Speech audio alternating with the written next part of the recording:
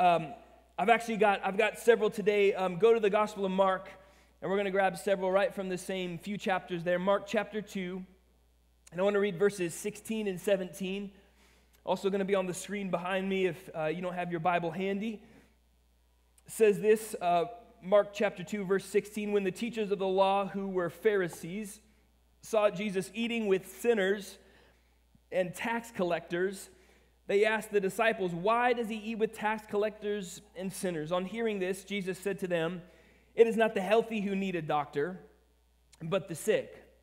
I have not come to call the righteous, but sinners. All right, one more. Flip just a few chapters ahead and go to Mark uh, chapter 5. Mark chapter 5, and I want to jump in at verse 24. Say amen when you're there. A few, I hear a few paper Bibles turn in, so I know there's still some anointing here today. The, the digital copies just aren't quite as anointed, but they still get the job done. All right, verse 24. A large crowd followed and pressed around Jesus, and a woman who was there who had been subject to bleeding for 12 years. She had suffered a great deal under the care of many doctors and had spent all she had.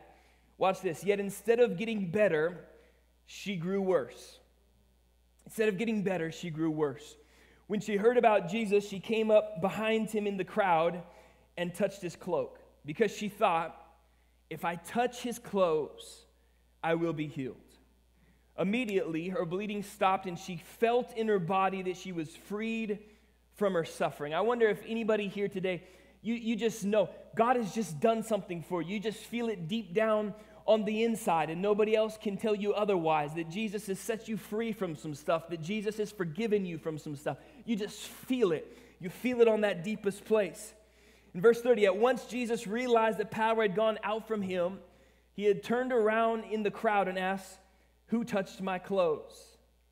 Isn't that interesting that, that it wasn't something that Jesus uh, uh, necessarily purposefully did, but there was a withdrawal of power. It was like somehow she just kind of snuck up and plugged into the power outlet that was Jesus. And the disciple said, You see the people crowding against you, and yet you ask, Who touched me? They're kind of like, Everybody's touching you. But you're asking who touched. But, but there's a difference between being around Jesus, being in the vicinity of Jesus, and going to church and, and kind of going through the motions and, and being around around all of it and then and then touching Jesus and and she touched Jesus. Verse 32, but Jesus kept looking around to see who had done it. Then the woman, knowing what had happened to her, came and fell at his feet and trembling with fear told him the whole truth. And, and I don't mean to sound sexist here, but when, when the Bible says she told him the whole truth, I think, I think like, come on, sometimes women do. She was like told the whole story. well, Jesus, I've been through it and I saw all these doctors and and we know she took a while to tell the whole truth because in the middle of all this, the appointment that Jesus was on the way to make to, to raise up Jairus' daughter from this, this uh, sick bed, she actually went and died. So this took some time. And, and in verse 34, he said to her, Daughter, your faith has healed you. Your faith got you this one. Now go in peace and be freed from your suffering.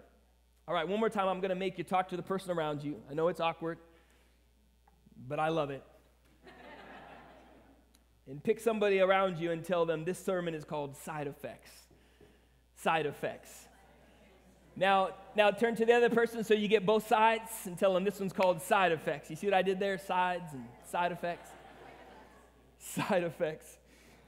Um, so, so let me let me ask you this today. What what kind of person are you when when you get sick? Be- because, you know, from time to time, we all get, we all get a cold, we all get a cough, you know, we'll get a fever, um, we'll, we'll get COVID for the 17th time, whatever it might be. When we get under the weather, there, there's a few different types of people when it comes to catching cold. Uh, some people, uh, when, when you catch a cold, um, you know you need to rest. And you are probably the wiser among us. Uh, sometimes you're a little annoying because you also probably love to get sympathy. Come on. And uh, you're like, I'm sick. That's it. I'm going to bed. I'll see you in three days. But, but, but then you recover and you're able to move on with your life. And, and some people, you know how to hit pause. Then there are those of us uh, that when we get sick, uh, no matter how sick we get, we attempt to carry on. We attempt to power through. We attempt to pretend like we're not actually sick and having a problem. And, and, and we freak out on all our friends because they're all telling us, you need to go home and get to bed and you're infecting everyone and you need to be quarantined. And, and I can be one of those people. Uh, in fact, a, a few, um, and don't get me wrong, I, I, love to get sympathy from my wife, but, but I can be one of those people that when I get sick, I pretend like I have no problem. A few Easters back, uh, when we were still in our old space on Indiana, any OGs in the house that were with us on Indiana? Come on, all right. And uh, Easter was coming. It was, it was the week of Easter, and I had my message all prepared, and I was prayed up, and I was ready for God to move in power. And back then, because of our little space, we, we were just trying to make more room for all the people that were coming. So we had a Saturday worship experience. So Easter was going to be on Saturday and Sunday. And through the week, I was feeling some symptoms. And, uh, you know, like, like you do, I just kind of ignored the symptoms. But then instead of getting any better, I, I just got more sick. And, and, then I continued to ignore them. And pretty soon I found myself laid up in bed. And I had such a, I, I was, I mean, this is probably TMI, but I was throwing up and and and I, I, was like hazy. I can't really even remember all what was going on. I had a terrible fever, and so I was laid up in bed. And my wife would come in and check on me, and from time to time, and she'd be like, "Hey, do you want me to text somebody from the team because Easter's coming, and obviously you can't preach?" And I was like, "Nah, I can preach." I'm gonna be fine. And the, she would leave, and then it would be like several hours later, she would come back again and be like, You're still really sick. Should I text someone? They probably need time to prepare. I was like, I'm fine, I can preach. And then Saturday, I text my wife to ask her because, again, I, I, was feverish and my memory was a little hazy. Saturday came around, the, the day of, and, and I went to get up to shower and to go preach. And actually, as I got up, I fell over. And praise God, I happened to fall in the direction of my bed. I didn't sit down, I fell down. And as I was laying there in my bed, I had an epiphany. I don't think I'm gonna be able to preach tonight. so I said, text him. And, and y'all know and love the great right Reverend Jeff Cope. Come on, full of the Holy Spirit, in season and out of season, ready to go. And, and so Jeff got a text that was something along the lines of, hey, get ready, uh, you're preaching tonight. And uh, from, from what I hear, preached a powerful Easter uh, sermon, and, and I was so dumb. I still got up the next day and I preached uh, Resurrection Sunday, and I probably looked, you know, kind of like like all gray, and, and people were probably frightened by my appearance, but I did it anyway. And uh, that's kind of how I am. In, in, fact, just a few weeks back, they, they told me I had appendicitis and uh, that I was going to need to get, you know, emergency surgery. And so I asked, I asked the doctor, I said, well, hey, look, um, I, I pastor this amazing church, and uh, I've got a sermon all ready to go. Can I leave for a few hours and, and, and, and film the message? And then I promise I'll come right back. and you can, add, I text, I text the team, I say, hey, get ready, we're gonna have to film the message this week. And the doctor said, no, you can't leave. You could die if you did that. You need to stay right here.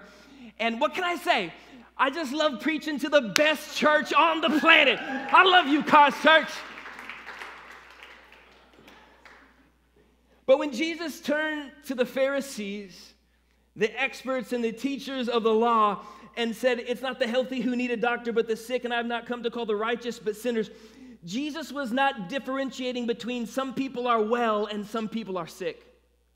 Please hear me. Jesus was saying, I came to work for those that are willing to recognize I'm not well, that are not pretending like they don't have a problem.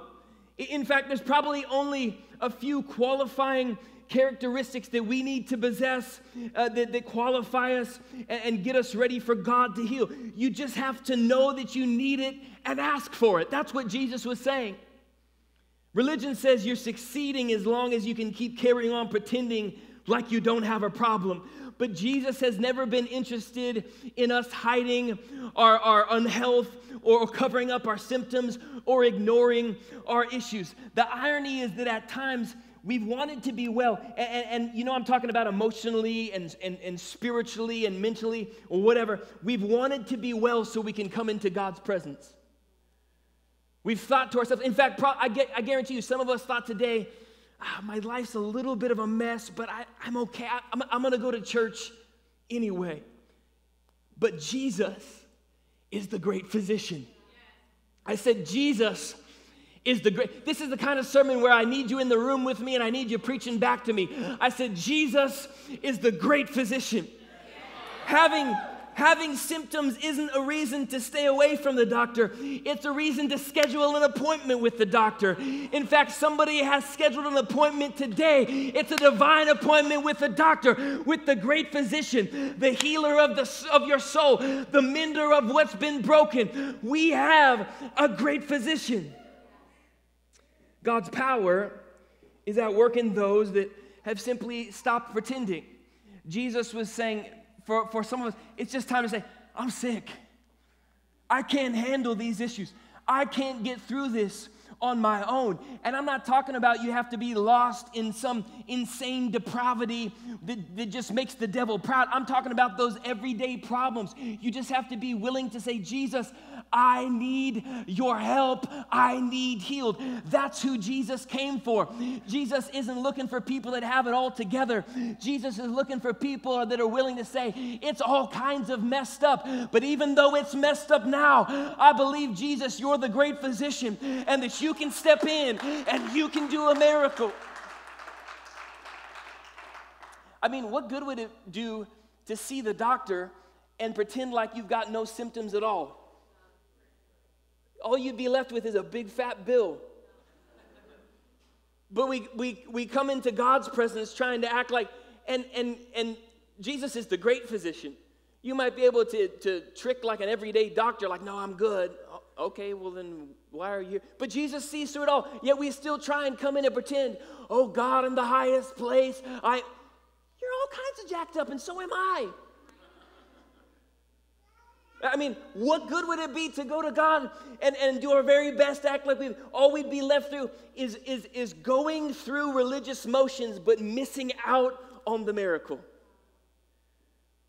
While there were people getting set free, the Pharisees were right there in the vicinity of Jesus, often in the same room with Jesus, but all they were doing was keeping themselves busy hiding all their symptoms.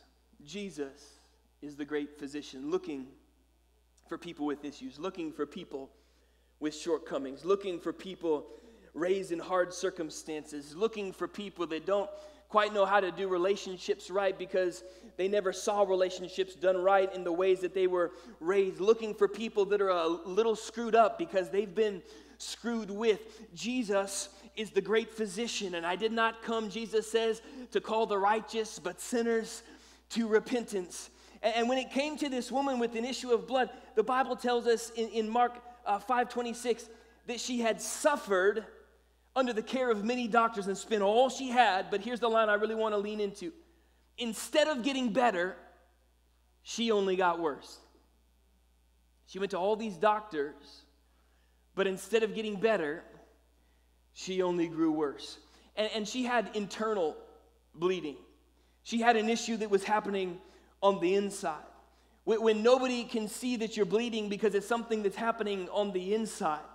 It, it, it's that emotional state that you haven't really told anybody about because you're afraid of what they might think of you because you're supposed to be this great leader. You're supposed to be this amazing mom. When you're bleeding on the inside, that can be the loneliest place. Sometimes when nobody else even knows that you need healing, that can be the hardest place.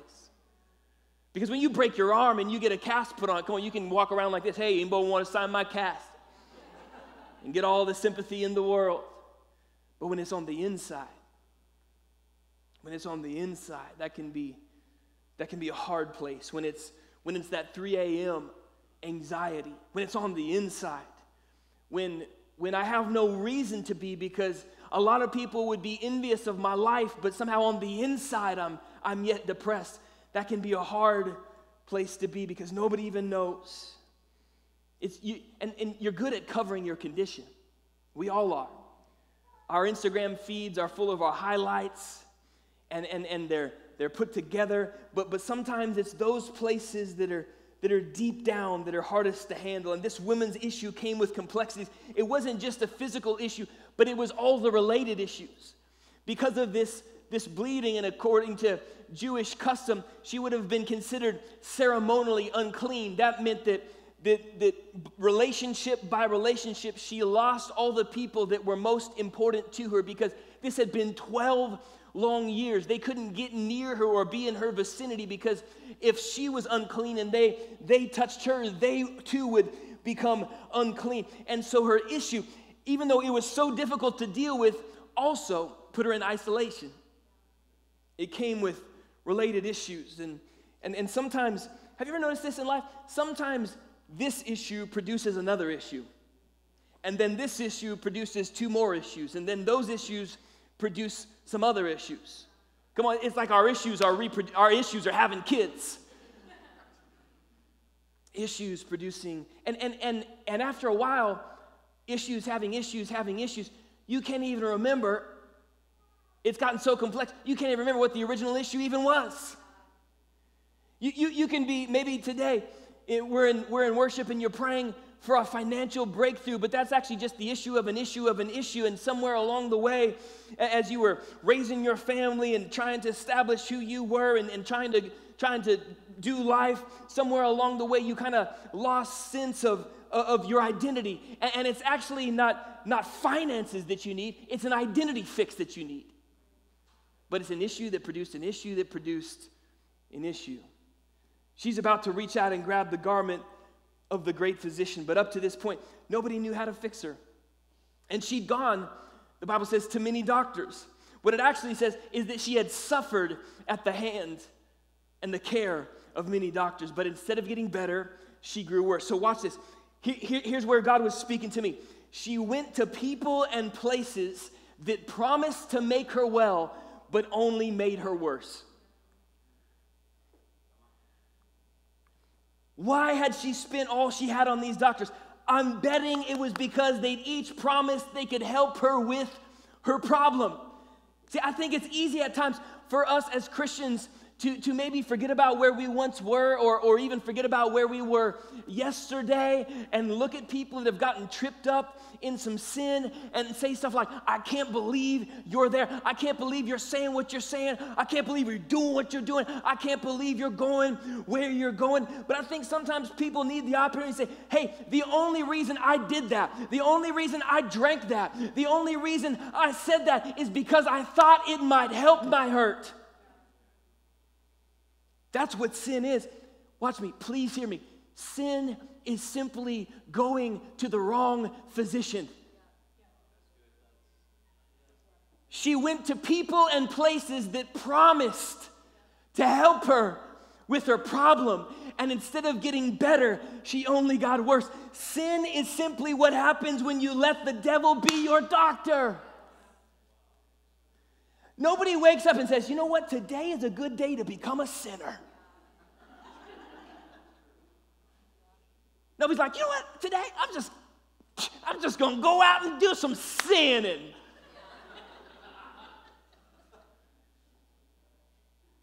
These doctors made promises. She was desperate.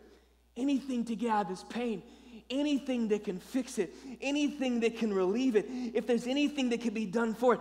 The, the, the, and, and the enemy will always be quick to make false promises and write you prescriptions. Here's the problem watch this the, the enemy's prescriptions always come with side effects. I'm, I'm picturing these ads that pop up on TV, you know, Advanatan.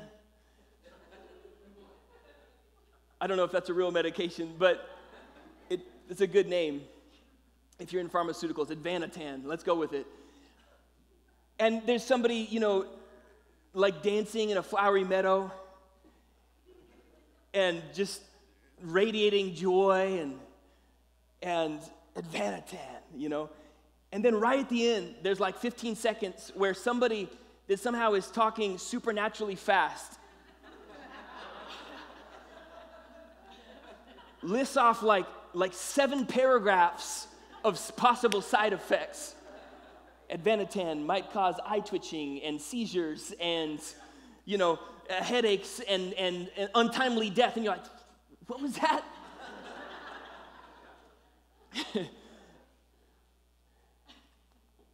you said it all so fast. I, did you see something about, about untimely death?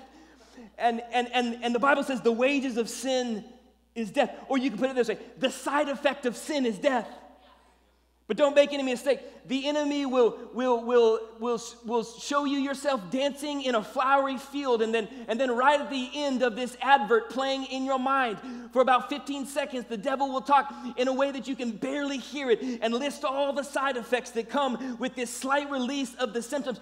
But when the devil, and don't make mistake, sin will temporarily relieve the symptoms. Yes, it will. That's why, some, that's why it's so easy to sin. Nobody's been like, it's hard to sin. No, it's easy to sin because it temporarily relieves the symptoms, but it always comes with side effects. Isn't it crazy how sometimes some of the ways you try and feel better just makes it that much more bad? Have you ever done something to feel better and thought it would work, but just made it worse? Have you ever, have you ever ate something that made you feel better for a minute, Come on, but then just a little while later, you're like, now my stomach hurts because I ate seven rolls of Oreos. whatever, whatever your comfort food is, you know, insert whatever. It, it's, it's why it can be so easy to get chipped on with sin. I, I, I, it can help with the symptoms, but it comes with side effects. And, and it's maybe like, my life's a bit of a mess, and, and, and, it, and it's real subtle. It's real subtle. It's real subtle. And the devil will come want to be your doctor. Oh, your, your life's a bit of a mess? Uh, well, well, here, I got a perfect prescription for you. Um, if, if your life's a bit of a mess, here's all you need to do. You can take one of these uh, in the AM, one of these in the PM. All you got to do, if your life's a bit of a mess, hey, guess what? Her life's more of a mess. Just talk about her. Just gossip about her. Just let all your friends know about her. And, and the craziness of her life will make your life seem a little less crazy. Here's the prescription, but it comes with side effects. Don't really know who you are, and, and, and you're struggling with a sense of identity, and, and, and, and maybe your parents didn't really know who they were, and they struggled the same way, and so they never really spoke over you about who you were, and, and you're trying to figure it out. And, and in the middle of this pain, the enemy is quick to, to write you a prescription. Don't know who you are? All you got to do, all you got to do is, is, is be overly critical of others, and then you won't have any time to be critical of yourself. Now you can just be a cynic just, just, take one, just take one of these big pills every day. Just be a cynic. Just be a pessimist. Just criticize everybody and everything, and you're going to be all right. What, hey, what they did to you wasn't right. And, and they left, but they forgot to take their pain with them. So, so, and suddenly the enemy comes in and says, Hey, you got some pain? I got the prescription. Just don't let anyone in ever again. That's all you got to do. Just take the prescription and, and, and you can avoid pain. Just hold everybody out. And, and you can have some pretend friends. And you can show up at church and you can even give some people some high fives. And you can have some Facebook friends. But, but all you got to do if you want to avoid this kind of pain, just take the prescription called isolation and live all on your own and think you got to get through it on your own and, and just, just go through it on your own. That's all you got to do. But it comes with some side effects. Oh, he, here's, a, here's a prescription the enemy loves to write. This, this comes in multiple bottles. Blame. Oh my goodness. If, if, you're, if you're going through something, a, a lot of the times the issues that we're going through, we've actually caused ourselves. Come on, if, we, if we're honest for three seconds, we, but, but, but the enemy will say, hey, here's all you got to do to feel better. Just blame everybody else. Blame your teacher, blame your parents, blame your pastor you know, blame your pastor. You, you can blame your pastor if you want. Um, you blame circumstances. Blame the fact that you don't have what they had, and if you did, you could do more than they're doing. All you got to do is blame. You can just blame, blame, blame. But, but hey, it's to come with some, fi- some side effects, and pretty soon you've got all these prescriptions. And here's where it gets really crazy, though. You have to take other prescriptions to, to fix the side effects of these prescriptions. My, my grandma Tilly, if you care to know about her, uh, she was a Pentecostal powerhouse. Yes, she was. And uh, physically speaking, she was tiny. She was probably what, five four? Not even that. Five foot. My wife's saying five foot. Physically, she was she was she was tiny, but in the spirit, she was tall. Yes, she was. And she spent the, the end of her life, the last several years of her life, uh, without a lot of, of, material wealth at all. In fact, uh, what she did have, she gave away. And, and so she didn't live in a big home. She lived in this kind of little tiny home that would just had, you know, bedroom and kind of a dining room, kitchenette, a little, a little couch. But I'll tell you what, she used that place to pray. Yes, she did. And, and, if, and if you care to know about it, uh, the only reason that there is a cause church today, and the only reason that any of us are even sitting our butts in these seats today, and in fact, meeting with God today in this place, is because there was a time where the enemy pulled on my life, but I had a praying Grandma Tilly that pulled back and said, Not on my watch. And she prayed me into my purpose, and God showed up and spoke to me about promises. And, and, and towards the end of her life, um, she, she was frail. And, so she had all these, she had all these medications and, and these pills that she would take. And, and one day I was, I was with her and I was asking her about, I said, Grandma Tilly, how do you have, how do you, why do you take all these pills? Hey, you know, like those, those pill organizers? She, she had one of those, and it was like every day was overflowing with all these pills. I was like, how, why are the doctors giving you so many pills? And, and so she explained to me, and she went through the different days, and she said, Well, well this pill, um, it, it tends, one of the side effects is that it brings my blood pressure up. And so this pill brings my blood pressure back down.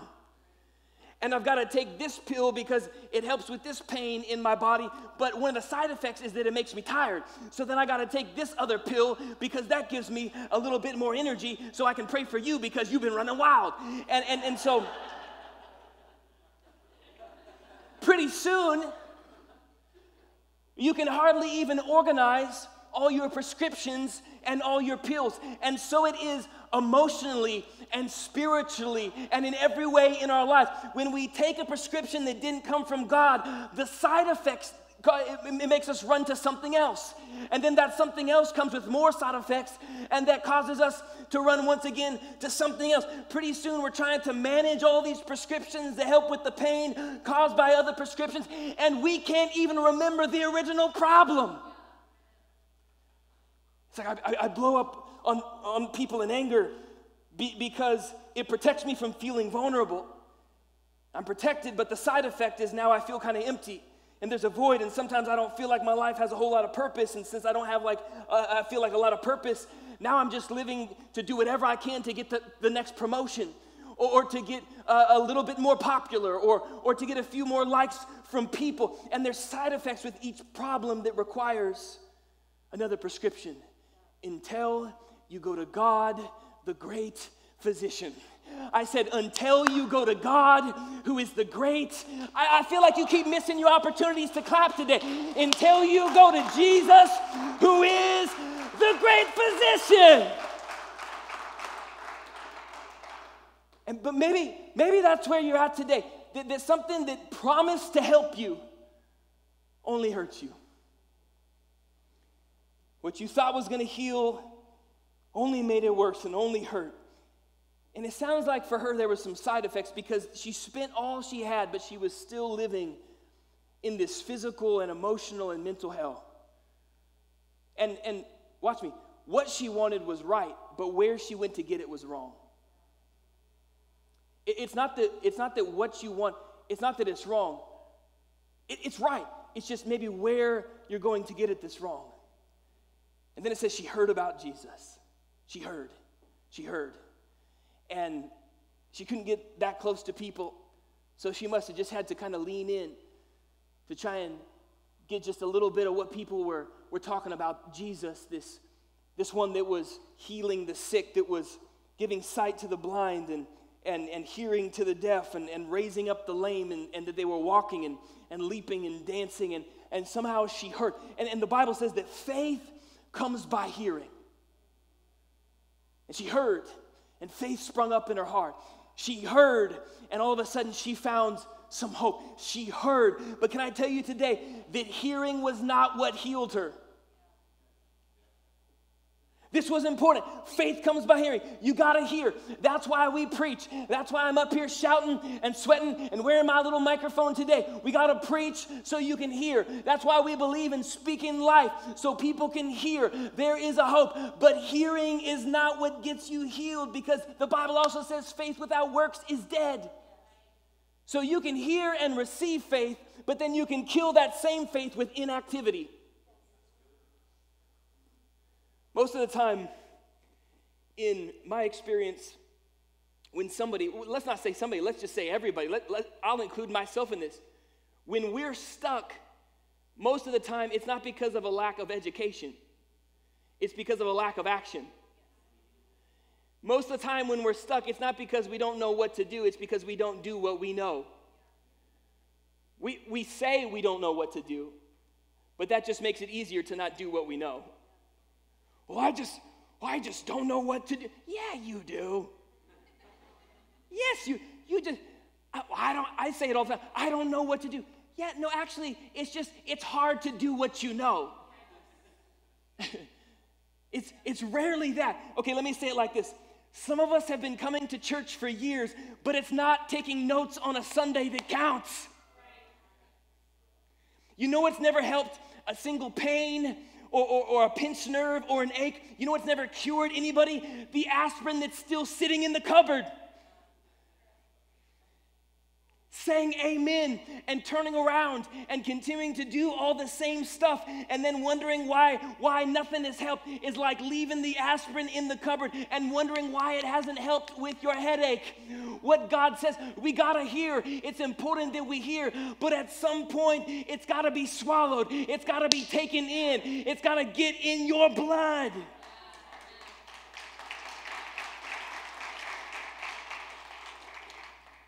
That's why we got people go to every Bible study but get worse. this, this woman got her healing, yeah, because she heard, but then she put herself in the path that would intersect with God's power. She did something. She moved towards her miracle. And, and, and I was struck with the fact that in this circumstance, most often when someone is healed in the presence of Jesus throughout the the, the New Testament narrative and, and the synoptic gospel accounts, most of the time when someone is healed by Jesus, it's because Jesus uh, makes a motion toward, Jesus reaches out and touches them. Jesus initiates, Jesus, Jesus touches them. But I was struck with this account because here, Jesus didn't touch her. In fact, Jesus didn't even know she was there. She touched Jesus. And I wonder if today some of us have been waiting for God to touch us while all along God is waiting for us to touch Him. I'm telling you, gratitude can be a strategy. Maybe you need to touch God today with your thanks. Touch God today with your worship. Maybe you need to feel God. Sometimes faith needs to find something to do.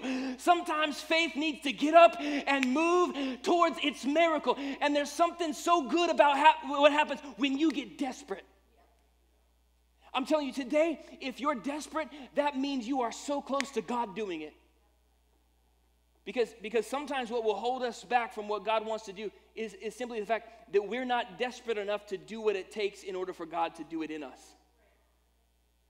It's like, God, I, I, I want you to heal me, but God, I want you to do it this way.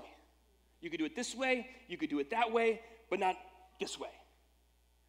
God, heal my heart. And then, and then God says, All right, I will. I'm ready. Here's what I want you to do I'm the great physician. Are you ready? I want you to forgive him. No, God, nope, nope. We want God to work, but we want it our way. We want God to work, but we want it. This ain't Burger King. We, we want God to work, but we want it our way. It's kind of like going to the doctor and trying to write your own prescription. You're going to kill yourself. You're not a doctor. You didn't go to medical school. You don't know what you're doing. But I'm telling you, when you get desperate, you come to a place where there's nothing you won't do. This woman, she crawled through the dirt. She broke every social distancing protocol. This, this, was, this was the first example of some. She was like the person at Target not wearing a mask, coughing all over everybody. And cautious laughter. Can we laugh at that yet? Where are we at with that? I'm not sure. and, and, she, and she crawled through the dirt. What was, what was off? It was signifying there's nothing I won't do. And I'm telling you, when you get desperate, you become a danger to the enemy of your soul. There's nothing I won't do. God, if you say to forgive, then I'll forgive. If you say to lift up my hands and worship, even in my weakness, even in this mess, then I'll worship. God, there's nothing I won't do. If you say to give, I'll give, God. If you say to do what I've never done before, I'll do what I've never done before. To trust the great physician, to truly trust the great physician, is to trust and to take the prescription. There's a prescription. If you're desperate, it's a good sign God's about to do it. I, found out that one of the most powerful kind of prayers is to pray, God, there's nothing I won't do. I've made a habit of praying that kind of way. And sometimes I mean it more than others, but I keep praying it anyway. God, there's nothing I won't do. God, there's nothing I won't do. Sometimes we're missing God working because we're expecting it to be a certain kind of way. Sometimes healing is, is on the other side of surrendering, not just to what God wants to do, but how God wants to do it. God, I need you to heal my heart. God, would you heal my heart? God, I'm praying that you'd heal my heart. Forgive him. No, God. Back to that again. No, God. Here's what I'm thinking. How, how about how about you get him, God? How about some Old Testament brand wrath and fire? Get them, God. God's like, nah, I don't feel like doing that. It's not gonna be fire, it's forgiveness. That's the prescription.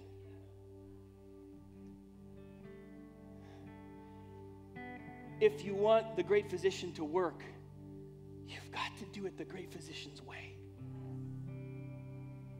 How could I complain that my arm still hurt when I tore off my cast? How can I complain that my side still hurt when I didn't let the ER doctor take out my appendix? Don't, here's how God said it to me don't let the miracle you did expect be stopped by the method that you didn't expect. Sometimes God says, dip in the muddy waters of the Jordan. I didn't expect all that. So, sometimes God says, if, if you need to receive, here's what you need you need to give. Sometimes only the great physician knows how this prescription applies to the problem. It's doctor's orders. It's, come on, it's doctor's orders. It's doc, we're, we're constantly trying to, to, to figure it out on our own and tell God what God needs to do and trying to write our own prescriptions, but, but this is doctor's orders. I want you to catch something. We're going to close here. That's why Eric's playing guitar. It's to, it's to set the atmosphere, but also it's a subtle way of saying, you got to shut up. We got more worship experiences coming. We've been doing this for a long time. Eric knows me. I want you to catch this. She reaches out and touches Jesus. And, and sometimes you gotta you gotta just make up your mind, I will touch God. Let me put it this way, because we're just on this analogy all day. There is no angelic secretary of heaven waiting at the desk saying, No, the doctor can't see you now. You're going to have to schedule an appointment for later. The doctor says, Come on in. Sometimes you just, you got to reach out and touch God. And, and I want to show you something. When, when she reached out and touched Jesus, she was healed in her body of this bleeding. And that's what happened immediately. But then there was something else that was going to happen and unfold, and it was going to happen more eventually. It's not just the enemy's prescriptions that come with side effects. The great physician's prescriptions come with side effects too. Touching Jesus didn't just stop the bleeding and make her well, it had side effects. Jesus took the time to stop and turn around and find this woman in the crowd. Why? To tell her, Daughter, your faith has made you well. Real quick now, earlier in the passage, she was referred to as the woman with the issue of blood, which means what? She was defined by her difficulty, she was called by her condition. Now Jesus speaks to her as daughter, and now the side effects are kicking in. When she heard about Jesus, she got healed of her symptoms. But now, when she heard from Jesus, she was also being healed of her shame. The side effect was that her identity was being restored. Daughter, daughter, daughter. She didn't come to be freed of shame. That was just a side effect. It was just a side effect. She came to be healed in her body, but the side effect of this prescription was that she was healed. Jesus said, Go in peace and be freed from your suffering. How can she be freed if she already was freed? Because it wasn't just a physical suffering, it was an emotional suffering. Remember how I told you her whole life had unraveled? Everything had fallen apart. She'd been separated from all her relationships. She'd given up on a sense of worth. She she undoubtedly had very little sense of purpose. What was she except a, a beggar, someone that, that people would, would turn away from, would look away and, and cross to the other side of the street? The great physician turned around and said, Hey, I want you to know the prescription that you just took, I got to tell you, comes with side effects. It won't just be your body that's, that's healed your whole life will be restored. It comes with side effects. They're gonna be, you can hug your kids again, that's one of the side effects. You can be restored to a sense of purpose. That's one of the side effects. When you go to the great physician and get a prescription, there are always side effects. Can I tell you today that we worship God because our God is worthy? But you know what? When we worship, it comes with side effects. When we worship, all of a sudden our problem gets smaller and our God gets bigger. Come on, we, we get. Ah! We, we give because God said to give. We give, but guess what? Giving comes with side effects. Jesus says, Hey, I just want you to know if you take this prescription of giving, Jesus said, when you give, here's a side effect you will receive. We, we follow God. We follow God because God said, Follow me. But there's a side effect. When I when I follow God, goodness and mercy follows me. It keeps showing up where I go. Blessing keeps showing up wherever I'm. Those are just the side effects. Come on, it's going to come with side effects. It comes with side effects. Come on, stand to your feet. I want to pray for you today. And all over the room, come on, let's lift up our hands. We, we close our eyes. We lift up our hearts in the presence of God today. Jesus, we thank you that you are the great physician, that you've got our prescription that you know exactly what we need and how we need it and when we need it. And God, where we've been running to this and running to that, God, not because we want to sin, but God, just we're trying to relieve the symptoms. God, I pray right now for an impartation of wisdom. I pray right now, God, for an impartation of clarity. God, I pray right now that you would fill someone, even to overflow, with this sense of abiding peace and boldness of faith to know I don't have to run there, here, or the other. But today I'm running to the only one that can fix it, that can heal it, that doesn't just relieve the symptoms, but goes straight to the source. Maybe it's healing in your mind from what's been spoken over you. Maybe it's healing in your soul. Maybe it's healing in your body.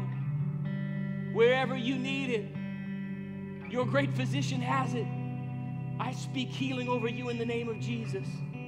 I speak healing over you in the name of Jesus. I speak, come on, let's let the Holy Spirit work today. I speak healing over you in the name of Jesus. God's at work now. I speak healing over you in the name of Jesus. You, you, don't, you don't have to cut corners anymore. I speak healing over you in the name of Jesus. You don't have to speak out those jealous sentences over her because you know who you are. I speak healing over you in the name of Jesus. No more side effects from the enemy. Now you're going to have side effects from God. The side effect of blessing, the side effect of prospering in your soul, the side effect of knowing whose you are, the side effect of peace that surpasses all understanding. I thank you for it. I thank you for it. I thank you for it.